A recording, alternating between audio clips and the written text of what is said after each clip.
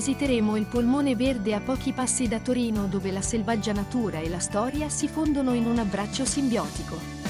Questo è il Parco Naturale Regionale della Mandria, un prezioso scrigno di biodiversità protetta che si estende per oltre 6.500 ettari di territorio in direzione delle valli di Lanzo. In questo paesaggio straordinario, creature selvatiche come i cervi vagano liberamente, mentre habitat preziosi forniscono riparo e sostentamento ad una vasta gamma di specie protette a livello comunitario.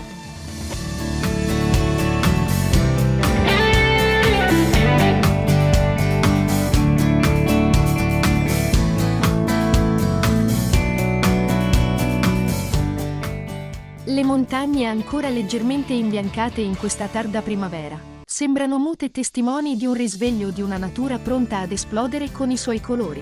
I querceti presenti ancora in vaste aree del parco resistono alla pressione dell'urbanizzazione, come un baluardo del passato che ci ricorda quanto fragile sia l'equilibrio tra la modernità ed il rispetto della natura.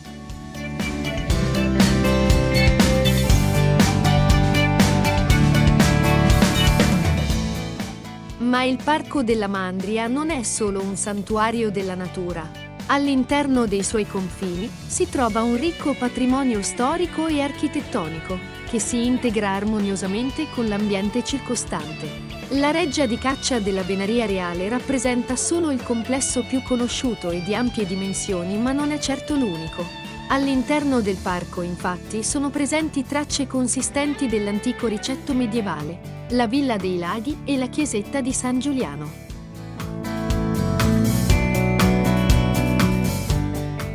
La nostra visita di oggi si concentrerà su quello che viene denominato Castello della Mandria che, posto a pochi passi dalla reggia di Venaria, racconta una storia che a suo tempo fu fonte di scandalo ed imbarazzo alla corte dei Savoia. La storia del castello e del relativo borgo risale al 1600 ed è ascrivibile al più ampio contesto di ristrutturazione delle pertinenze della reggia di Venaria Reale, riconducibile ai lavori svolti intorno al 1693 nell'area in cui oggi sorge il complesso è la struttura destinata all'allevamento equino denominata Mandria Vecchia. Ancora oggi sono visibili le ampie scuderie e tutte le pertinenze legate al castello.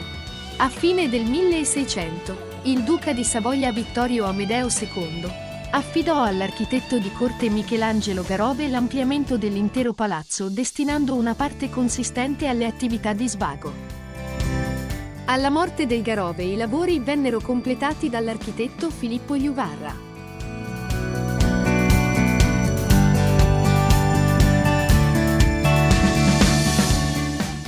Ma è con l'avvento di Vittorio Emanuele II primo re d'Italia e della Bella Rosine, al secolo Rosa Vercellana, che il castello divenne il luogo di elezione della loro relazione amorosa. Lo scalpore era dettato dal fatto che l'amante preferita del re, una popolana, assumesse un ruolo sempre più importante all'interno della corte dei Savoia.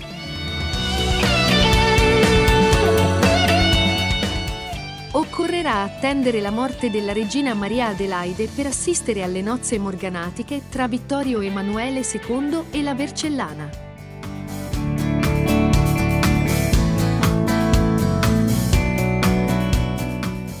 Accedendo alle sale si avverte la dimensione più domestica ed intima della vita del sovrano a dispetto dell'eccessivo formalismo che si respira in molte altre residenze sabaude. Gli ambienti restituiscono uno spaccato di una quotidianità che pur nel privilegiato mondo dell'aristocrazia la riporta a una sorta di normalità, pur non tralasciando per la qualità degli arredi e la finezza degli ambienti uno spiccato senso artistico.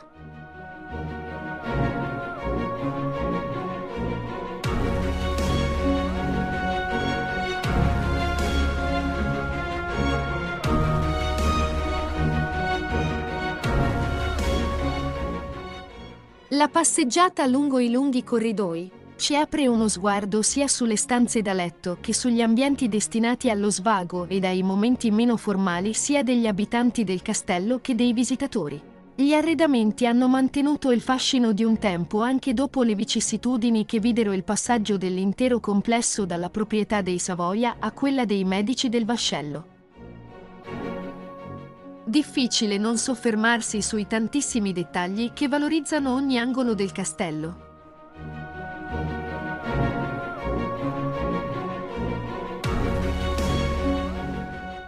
L'impressione che si ricava durante la visita è quella di un posto in cui tutto sembra essersi fermato per permetterci di ammirare uno spaccato della vita di personaggi, che normalmente vediamo rappresentati nei libri di storia.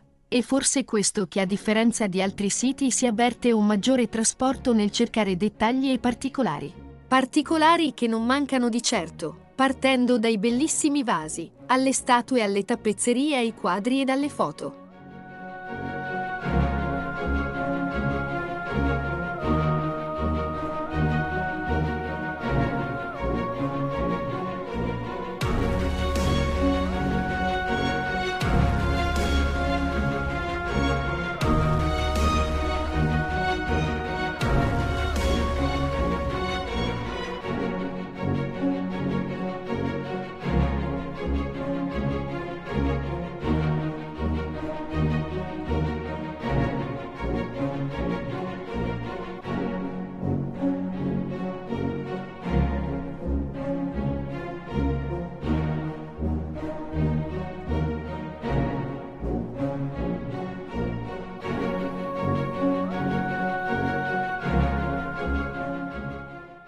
Nostro rapido giro tra le sale e i corridoi del castello evidenzia il gusto tipico del periodo risorgimentale e dei richiami alle mode di quel momento storico.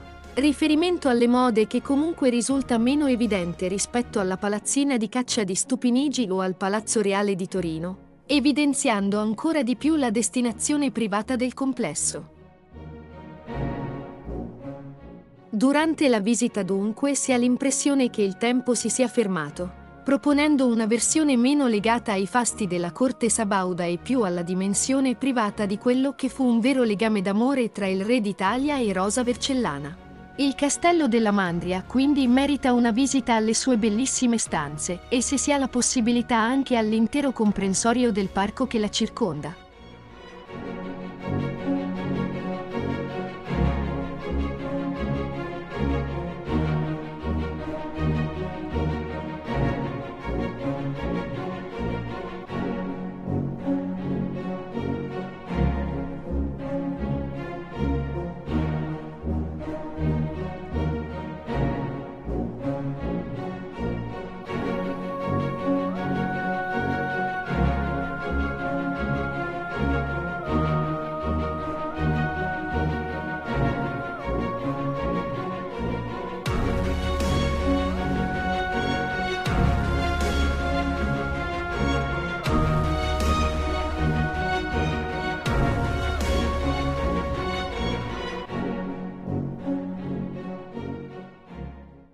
Dopo un ultimo sguardo ai soffitti a cassettoni finemente lavorati, ci avviamo verso la parte terminale degli appartamenti reali. In quest'ultima parte trovano spazio non solo alcune salette destinate all'intrattenimento, ma anche alcune pertinenze ad uso del personale di servizio.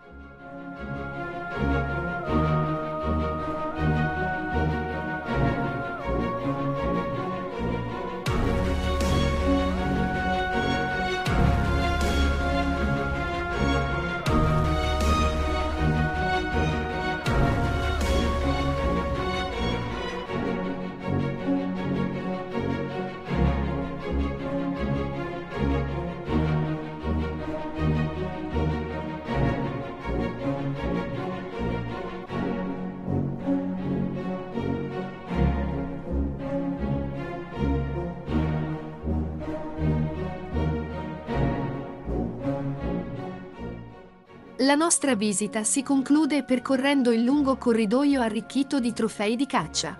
Nota era infatti la passione di Vittorio Emanuele per l'attività venatoria e in questa parte del castello sono dunque visibili parecchi trofei.